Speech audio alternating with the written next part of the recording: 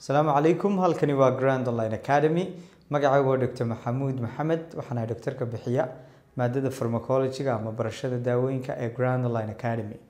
Maanta waxaan ka hadli doonaa inotropic drugs dawooyinka wadnaha xoojiya ama in wadnuhu muruqiisu uu isku soo ururo oo uu dhiiggii tuuro keena ayaynu ka hadli doonaa. Intaanan cashirkeenan bilaabin waxaan idin wargelinayaa inaanu qaadanayno fasallo cusub oo ah barashada daawooyinka qaab online ah. Adigoo gurigaaga jooga ama goobtaada shaqo maqal qaab maqal iyo muuqaal ah. Haddii aad xiiseynayso waxaad la soo xidhiiri doontaa nambarada hoose. Sidoo kale ha moogaanina inaad videogan sii baahisaan si uu dad fara badan u gaadho. Dawooyinka ka hadlaya waxa weeye inotropic drugs marka inotropic agents ama inotropic drugs macnaheedu waxa weeyaan waa dawooyin that enhance kor u qaada cardiac contractility inuu muruqii wadnuhu isku soo ururo oo uu dhiiggii tuuro and increase cardiac output. Kadibna waxay badiyaan dhiigga ka baxaya wadnaha ayay badiyaan. Marka waxaa la isticmaala markuu wadnuhu uu failgaroobo ama heart failure uu dhaco ee wadnuhu dhiiggii marin kari waayo ee uu wada tuuri kari waayo ayaa lagu caawiyaa inotropic drugs waxaa ugu komansan dawada la yidhaahdo digoxin dawooyinka la yidhaahdo digitals marka inotropic drugs maaha digitals oo keliya waa gruubyo kale iyagoo faahfaahsan classkaynu ku dhigan doonaa insha allah.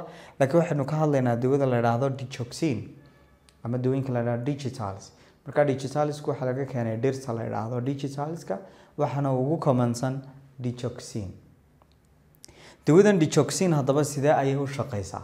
Digoxin waxay xanibtaa inhibit sodium potassium atps bum waxay xanibtaa bamka loo yaqaano sodium potassium atps bum sidee bay markaa waxa u xanibaysaa tusaale waxaynu u soo qaadanaa waxaan waa unug ku yaalla muruqyada wadnaha waa unugyadii muruqa wadnaha weeyaan.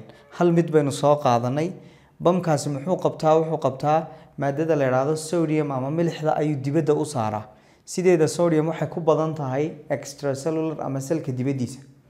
Potassiumna waxay ku badan tahay selka gudihiisa. Marka sodium intii yareyd ee gudaha ku jirtay ayuu dibadda u tuuraa. Potassiumtii yareyd ee dibadda joogtayna gudaha ayuu soo geliyaa. Marka isagoo isticmaalaya energy. Haddaba marka bamkan la xanibo maxaa dhacaya? Sodiumtii gudaha ku jirtay dibadda uma bixi karaysa marka potassiumtii dibadda joogtayna gudaha soo geli kari mayso. Marka marka bamkani uu shaqayn waayo sidoo kale waxaan shaqaynayn pointkan u socdaa waa kaa. Sidoo kale waxaan shaqaynayn bamkan kale oo ku yaalla selka wadnaha ama muruqiisa dusheeda ama sel membrainka ku yaalla oo loo yaqaano sodium calcium exchange. Marka muxuu sameynayaa calciumta ayuu dibadda u saaraa sodiumna waxa weeyaan dibadda ayuu ka soo qaadaya guduhu soo gelinaya marka marka sodiumtii gudaha joogtay dibaddaba la geyn waayo waxa yaraanaya sodiumta dibadda joogta. Mar hadday yaraatay bamkani wuxuu u baahan yahay sodium fara badan oo dibadda joogta si uu gudaha u soo geliyo calciumtii gudaha ku jirtayna si uu dibadda ugu saaro. Mar hadduu kani xanibmo oo sodium dibadda loo saari waayo kana ma shaqayn doono okay mar hadduu kani shaqeeya maxaa dhacaya? Calciumtii gudaha ku jirtay ee dibadda loo saari lahaa ayaa ku urureysa selka gudihiisa. Calcium maxay ka qeyb qaadataa? Calcium waxay muhiim u tahay contractilityga wadnaha ama muruqii wadnuhu inuu isku soo ururo ayaabay muhiim u tahay. Marka pointka loo socdaa waxa weye dawooyinkani aakhirka waxay badinayaan un intracellular calcium marka increase intracellular calciumna maxay badinaysaa? Waxaa ka dhacaya increase in contractility. Wadnaha oo markaa contractilitygiisii ama shaqadiisii ama isku soo ururkii muruqa wadnuhu uu farabato.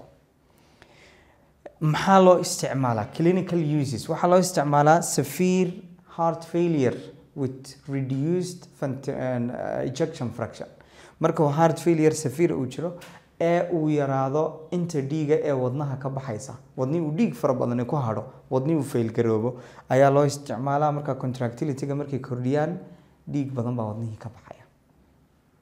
Sidoo kale waxaa loo isticmaalaa as an anti arrhythmic arrhythmiyada ama garaaca wadnuhu ama electrical activityga wadnuhu markay khalkhasho ayaa loo isticmaalaa oo waxay yareeyaan dawadani digitaliska ama digoxin waxay yareysaa av nodal conduction gudbinta av nodeka uu gudbinayo marka rhythmkii wadnaha ayaabay markaa stabilize garaynaysaa side effects maxay leedahay? Digoxin ama digital toxicity-gu waa very common.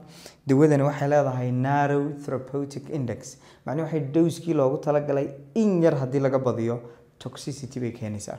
Marka waxay keentaa nausea iyo vomiting matag iyo santopsia oo ah yellowish discoloration yellowish vision qofka araggii ama waxyaabihii u arkayay huruud ay la noqdaan oo kale ula ekaadaan.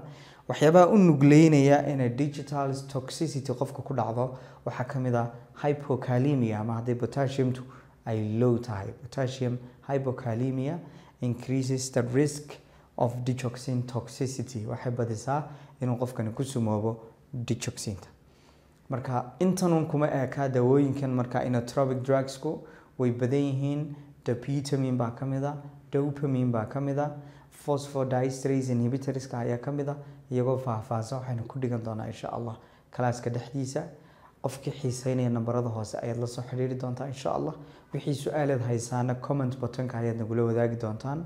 Halkani waa grand online academy halkaasuu inoogu joogayaa. Maanta asalaamu calaykum waraxmatullaahi wabarakaatu